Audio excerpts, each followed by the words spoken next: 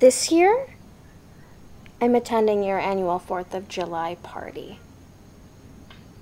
There's not gonna be any party. Shows what you know. Why are you so obsessed with my family?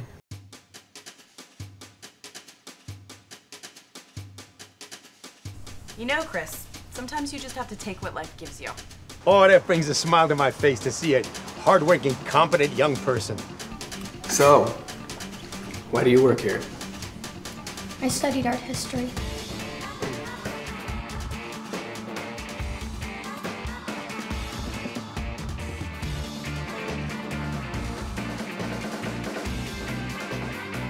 A lot of boats out there, huh? I'm more of a powerboat guy myself, but I do appreciate a good vessel. Did something happen with you and RJ? Nah. You look insane. What are you doing? What are you doing? You never let a man near you except out of spite. All right! All right! That is great!